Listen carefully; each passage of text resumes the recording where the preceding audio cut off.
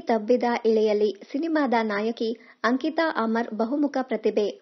ಗಾಯನ, ಭರತನಾಟ್ಯ, ನಟನೆ ಜೊತೆಗೆ ಮೆಡಿಕಲ್ ಬಯೋಕೆಮಿಸ್ಟ್ರಿಯಲ್ಲಿ ಡಬಲ್ ಗೋಲ್ಡ್ ಮೆಡಲಿಸ್ಟ್.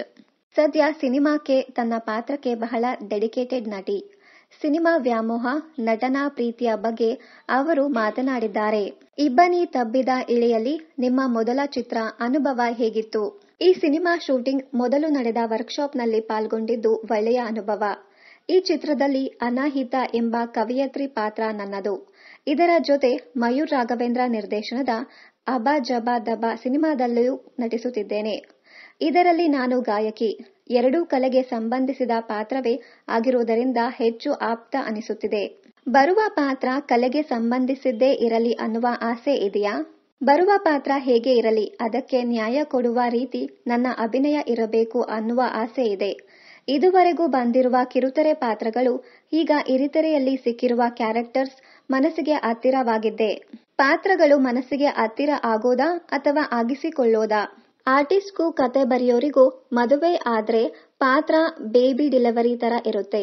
ಕತೆಗಾರರು ಏನನ್ನ ಮನಸ್ಸಿನಲ್ಲಿಟ್ಟುಕೊಂಡು ಕತೆ ಬರೀತಾರೋ ಅದನ್ನ ಅರ್ಥ ಮಾಡಿಕೊಳ್ಳುವ, ಪಾತ್ರದ ಮೂಲಕ ಹೊರಹೊಮ್ಮಿಸುವ ಸೆನ್ಸಿಬಿಲಿಟಿ ನನಗಿರಬೇಕು.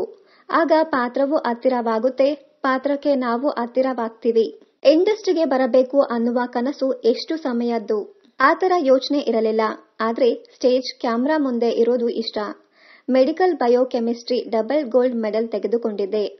ಪಿಎಚ್ಡಿ ಮಾಡುವ ಕನಸಿತ್ತು. ಆದರೆ ಅಪ್ಪ, ಅಮ್ಮ, ಮನೆಯವರ ಬೆಂಬಲದಿಂದ ನನ್ನ ನೆಚ್ಚಿನ ನಟನೆಯ ಕಡೆ ಹೊರಳಿದೆ. ಆಕಸ್ಮಿಕವಾಗಿ ಬಂದಿದ್ದು. ಈಗ ಬಣ್ಣದ ಗೀಳಲ್ಲೇ ಬಿದ್ದಿದ್ದೇನೆ. ಕನ್ನಡ ಇಂಡಸ್ಟ್ರಿಯಲ್ಲಿ ನಮ್ಮ ಹುಡುಗಿಯರಿಗೆ ಅವಕಾಶ ಇದೆಯಾ? ಕಲೆಗೆ ಭಾಷೆಯ ಬೌಂಡ್ರಿ ಇಲ್ಲ ಅನ್ನೋದನ್ನ ನಂಬ್ತೀನಿ. ಆದರೆ ಆ ಭಾಷೆ ಸೊಗಡು, ಗಂಧ ಕಲಿತು ನಟಿಸಬೇಕು. ನಾನು ಕನ್ನಡದ ದೊಡ್ಡ ಅಭಿಮಾನಿ. ಪ್ರತಿ ಅಕ್ಷರಕ್ಕೂ ಮುತ್ತು ಕೊಟ್ಟು ಮಾತನಾಡಬೇಕು. ಅಷ್ಟು ಚಂದ ನಮ್ಮ ಭಾಷೆ. ಕನ್ನಡದವರು ಏನು ಅಂತ ಈಗ ಎಲ್ರಿಗೂ ಗೊತ್ತಾಗ್ತಿದೆ. ನಟಿಗೆ ಬ್ಯೂಟಿ ಇದ್ರೆ ಸಾಕ? ಬ್ಯೂಟಿಯನ್ನ ಕಣ್ಣು ಹೇಳುತ್ತೆ. ಕಲಾವಿದರ ಕಣ್ಣು ಮಾತನಾಡಬೇಕು.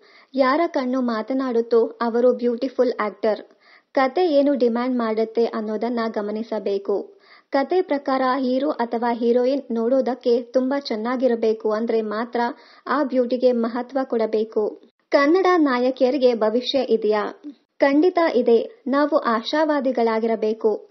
ಪರಿಶ್ರಮ ಇರಬೇಕು, ಭರವಸೆ ಇರಬೇಕು, ಮನಸಾರೆ ಕನಸು ಕಟ್ಟಬೇಕು. ಇಷ್ಟಪಟ್ಟು ಆ ಕನಸಿನ ಈಡೇರಿಕೆಗೆ ಶ್ರಮಪಟ್ಟರೆ ನಮ್ಮ ಹುಡುಗಿಯರು ಬೇರೆ ಲೆವೆಲ್ಗೆ ಹೋಗಬಹುದು. ಇದಿಷ್ಟು ಅಂಕಿತಾ ಅಮರ್ ಅವರ ಮಾತುಕತೆಯಾಗಿತ್ತು.